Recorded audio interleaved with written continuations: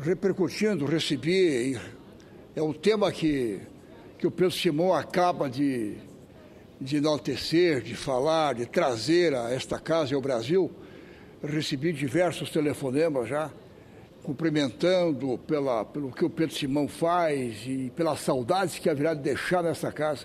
E entre os telefonemas que acabo de receber, recebi um de, um, de uma delegada, doutora Lúcia Stafanovic, que quando o governador foi chefe da Polícia Civil, lá no meu estado, inclusive foi secretário da Segurança em Santa Catarina. E deixou muitas saudades. E acha que o Pedro Simão não pode parar, tem que continuar brindando o Brasil com sua, sua experiência, seus conselhos e seus ensinamentos. Claro, ontem, inclusive, eu analisei o resultado das eleições para a Presidente da República e hoje eu não pude deixar de trazer é, um tema que enaltece, é um, é um tema diferente, mas que enaltece a Serra Catarinense, produtos da Serra Catarinense e também da Serra Gaúcha. É, eu recebi de um, de um historiador e um, e um jornalista, Berengoski, que é lá de, dos Campos de Lages, da Coxilha Rica, e, e, é algo que vem agregar. Eu não pude deixar de fazer um registro nessa casa sobre alguma coisa a mais que traz, que é o valor agregado no campo, e é o, é o famoso queijo serrano artesanal. A receita já é conhecida, senhor presidente e caros colegas. O Brasil precisa agregar mais valor aos seus produtos e deixar de ser somente um produtor de commodities. A máxima vale para todos os setores produtivos, dos minérios aos agropecuários. É justamente no campo que vemos um louvável avanço nesse sentido, que merece nosso registro e reconhecimento. O exemplo que trago para ilustrar a situação vem da Serra, de Santa Catarina e do Rio Grande do Sul. Há pouco mais de meio século, o Brasil nem sequer imaginava ser possível produzir maçãs de qualidade em seu território. Toda a oferta existente era oriunda de outros países, especialmente da Argentina e do Chile. Hoje, especialistas afirmam que São Joaquim, na Serra Catarinense, está produzindo a melhor maçã Fuji do mundo. Tal transformação é resultado de muitos anos de estudos, pesquisas e trabalho, envolvendo empresários, produtores e com a participação vital do poder público através de seus centros de desenvolvimento agropecuário, no caso catarinense, a IPAGRE. Atualmente, a produção nacional de maçãs já ultrapassa a marca de 1 milhão e 300 mil toneladas, com exportações que devem chegar a 120 mil toneladas, das quais 84 mil apenas para o exigente mercado europeu. A produção catarinense representa aproximadamente 60% da nacional. A nova batalha dos produtores, neste momento, é por uma certificação geográfica que fará a maçã ser reconhecida mundialmente. A iniciativa da Associação dos Produtores de Maçã e Pera de Santa Catarina e da IPAGRE pelo Índice Geográfico de Proteção classificação de produtos gastronômicos ou agrícolas de uma região, que envolve, sem dúvida alguma, uma parte do Paraná e uma boa parte do Rio Grande do Sul, a região de vacaria por excelência.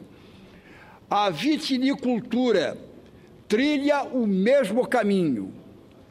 Os vinhos da Serra Catarinense, como também nós temos as serras do Rio Grande do Sul, dotados de um terroir, ou seja, um conjunto de características é, geográficas, climáticas e de método produtivo que alcançam altos patamares de qualidade.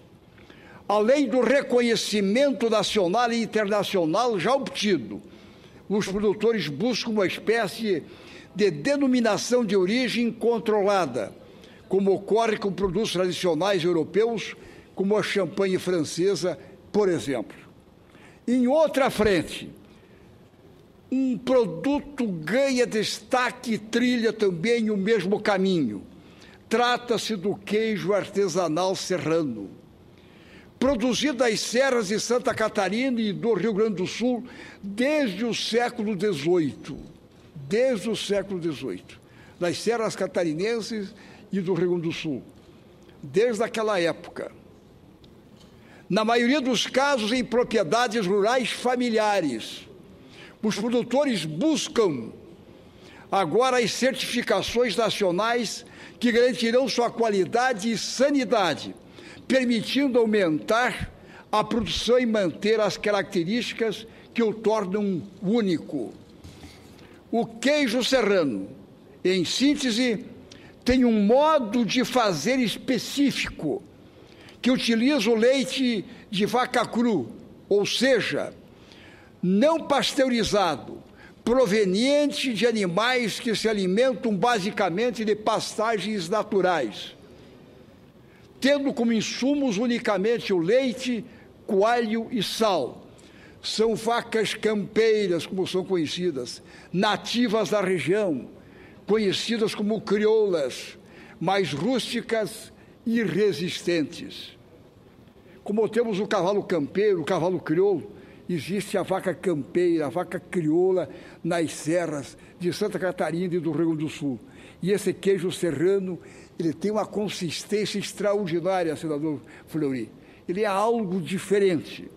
Trilha-se dessa forma o caminho percorrido pelo tradicional queijo canastra, produzido na Serra Mineira, do mesmo nome. E seu, e seu primo distante, o tradicional queijo portu, português da Serra de Estrela, lá de Portugal. Então veja como é que se da Serra Canastra, que leva o seu nome de Minas, eu sei que Goiás não fica distante disso.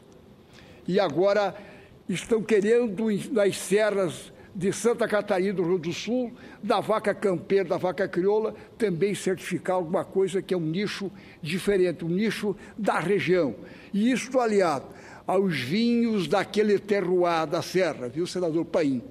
Aos vinhos de lá, como queijo campeiro, olha, aí com aquele pão ainda produzido na região, melhor é impossível.